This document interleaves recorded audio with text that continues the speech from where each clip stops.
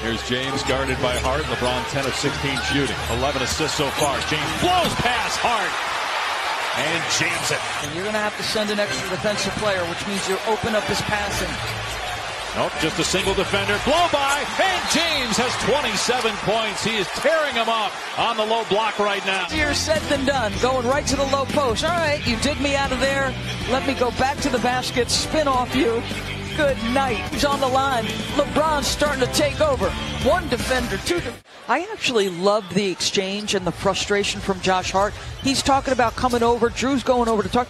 Like, it's frustrating. It's hard guarding LeBron James. And you know what? You should be annoyed. Like,